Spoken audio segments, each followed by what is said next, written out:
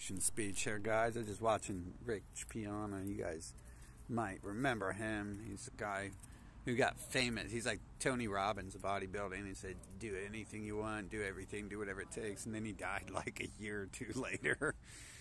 Uh, so I was watching motivation from him. And I thought I was like kind of interesting. He's like, you know, you gotta, you gotta work. You gotta build up your thing. You gotta build up your life and your empire.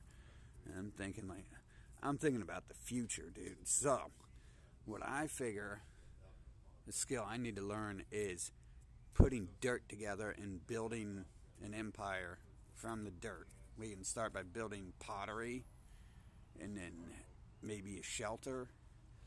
Um, but, you know, like these are just skills we're going to need here within like probably, you know, probably eight years. I, I suppose most people are going to need the skills to to build a shelter out of dirt and to you know just cultivate the soil. I'm not going to tell you guys the secrets of how to grow plants and stuff. I don't I don't know too many people who deserve to know how to grow a plant.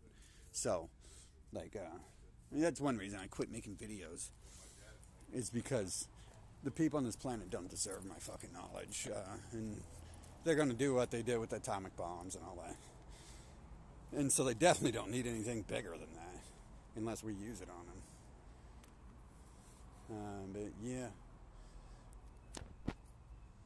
Yeah, so you guys, you know, be positive and think about the future and realize that the future isn't always sitting in a couch eating butter because eventually the butter runs up and the air conditioning, the electricity for the air conditioning might run up. And then there might not be anyone to steal all that electricity from to uh, to build cities like this anymore.